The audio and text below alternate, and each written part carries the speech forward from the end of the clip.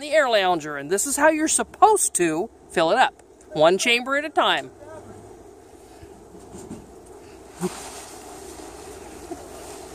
um, yeah, or run or something. Hey, wait, oh, oh, whoa, whoa, whoa, whoa, there you go. Now fill it up. Now close it. No, wait, close it. now you gotta do the other one. What other one? There's another chamber.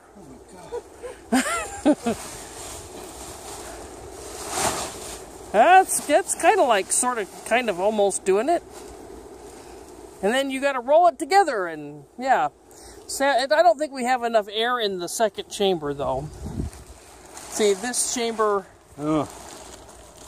here, this one.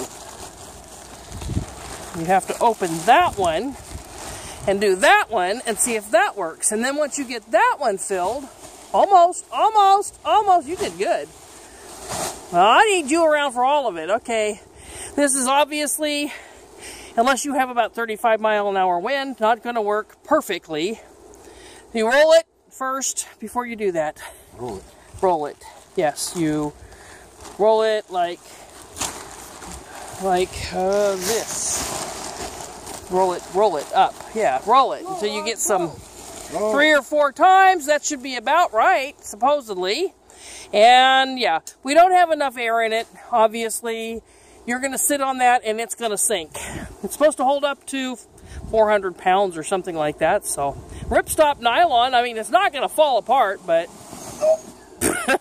yeah, well, I mean, maybe if you started at the other end, but hey, that's about what it looks like. And then you just kind of, like, yeah. My back is on the ground. I suggest getting a fan to do this. Unless you have a lot of energy to run. Thank you very much for watching my video. I was given this at a reduced price for my honest review, and all opinions are my own.